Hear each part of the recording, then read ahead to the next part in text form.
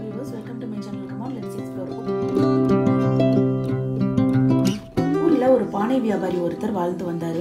அந்த பானை வியாபாரியிடம் மூணு பானைகள் இருந்தது. அந்த மூன்று பானைகளும் ஒருத்தருக்கு ஒருத்தர் ரொம்பவே நட்பு பாராட்டி வாழ்ந்து வந்தது. ரொம்பவே சந்தோஷமா இருந்தது. அதுல ஒரே ஒரு பானை மட்டும் நான் இங்கே இருக்கிறதுல எனக்கு ரொம்ப சந்தோஷமே கிடையாது. இங்கேயே இருந்து இப்படி கறி பிடிச்சி சாகிறதுக்கு நம்ம ஒரு பணக்கார வீட்டில் இருந்தால் எவ்வளவு நல்லா இருக்கும் அப்படின்னு ஒரு கருப்பு நிற பானை சொன்னது.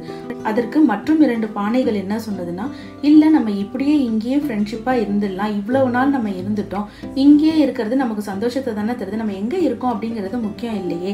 நம்மளை இவர் நல்லா தானே பார்த்துக்கிறாரு அப்படின்னு சொன்னிச்சான். இப்படியே நாட்கள் உருண்டோடிட்டு போயிட்டு இருக்கும் போது ஒரு பணக்காரர் என்ன பண்ணுறாரு ஒரு நாள் திடீர்னு இந்த பானை வியாபாரியிடம் வந்து எனக்கு ஒரு பழைய பானை வேணும் அப்படின்னு கேட்குறாரு ஆனால் இந்த பானை வியாபாரியோ என் இடத்துல பழைய பானை அப்படின்னா நான் யூஸ் பண்ணுற மூணு பானைகள் தான் இருக்குது அதை தவிர என்கிட்ட வேற எந்த பானையும் பழைய பானை இல்லை. மற்ற எல்லாமே புது பானை தான். அதனால புது பானை ஏதாவது இருந்தால் பாருங்க அப்படின்னு சொல்கிறாரு ஆனால் அந்த பணக்காரோ இல்லை இல்லை தனக்கு வந்து கருப்பு நிற பழைய பானை தான் வேணும் அப்படின்னு கேட்குறாரு கறி பிடிச்சிருந்தாலும் பரவாயில்ல எனக்கு அந்த பழைய பானையை கொடு அப்படின்னு சொல்லிட்டு இவர் உபயோகப்படுத்துகிற ஒரு பழைய பானையை எடுத்துகிட்டு போயிடுறாரு.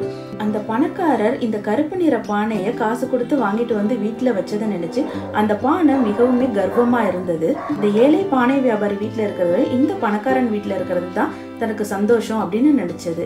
இந்த சூழ்நிலையில ஒரு நாள் அதுல தண்ணி ஊத்திட்டு இருக்கும்போது அந்த பானை உடைஞ்சு போயிருது. உடைஞ்சு போன இந்த பானையை வச்சுக்கிட்டு நம்ம என்ன பண்றது? இதை தூக்கி வீசிடலாம் அப்படிங்கிற முடிவுக்கு வராரு. அந்த பானையை தூக்கி வீசிட்டு போயிடுறாரு.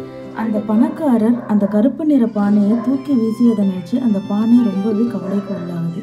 இந்த வழியா வந்த ஒரு வழிபோக்கர் இந்த உடைஞ்ச பானையை எடுத்து அடடா நம்ம வீட்டில் பானையே இல்லையே இந்த உடஞ்ச பானையை எடுத்துகிட்டு போனால் கொஞ்ச நாள் தண்ணி வச்சு குடிக்கலாமே அப்படின்னு யோசிக்கிறாரு. அந்த உடஞ்ச பானையை அவர் வீட்டுக்கு எடுத்துகிட்டு போய் உபயோகமும் படுத்துறாரு.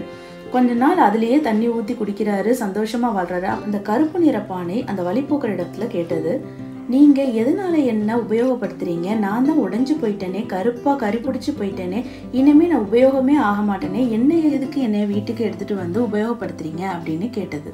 அதற்கு அந்த வழிபோக்கர் இல்லை நான் வந்து ரொம்பவே ஏழ்மையானவன். எனக்கு வந்து இந்த ஒரு பானை காசு கொடுத்து வாங்குறதே கஷ்டம். அதனால எனக்கு நீ உடஞ்ச பானையாக இருந்தாலும் பரவாயில்ல எனக்கு உபயோகமா இருப்ப அப்படின்னு தான் உன்னை நான் எடுத்துட்டு வந்தேன் எங்க வீட்டுக்கு. இப்போ நீ ரொம்பவே உபயோகமா இருக்க அப்படின்னு சொன்னாரு. இதை கேட்டு அந்த பானை ரொம்பவே சந்தோஷமா இருந்தது. இப்போ அந்த பானைக்கு தன்னுடைய பிறப்பினுடைய நோக்கமும் புரிஞ்சிருச்சு. நம்ம ரொம்ப அசிங்கமா இருக்கோம் நம்ம உடைஞ்சு போயிட்டோம் அப்படிங்கிறதையும் மீறி நம்ம யாருக்கு உபயோகமா இருக்கோம் சரியான நேரத்துல சரியான இடத்துல உபயோகமா இருந்தாலே போதுமானது வாழ்க்கையில அப்படிங்கிறத அந்த பானை உணர்ந்துச்சு. இந்த கதை மூலியமா நம்ம தெரிஞ்சுக்க வேண்டிய விஷயம் என்னன்னு பார்த்தீங்கன்னா நம்ம அழகா இருக்கோமா அசிங்கமா இருக்கோமா பணக்காரங்களாக இருக்கோமா ஏழையா இருக்கோமா அப்படிங்கிறது இங்க முக்கியமே இல்லைங்க. நம்ம இருக்க வேண்டிய இடத்துல உபயோகமா இருக்கோமா அப்படிங்கிற ஒரு விஷயம்தான் இங்கே இங்க மிகவும் முக்கியமானது. அதனால நம்ம யாருக்கு எங்க இருந்தாலும் உபயோகமா இருக்க வேண்டியது ரொம்பவே அவசியம்.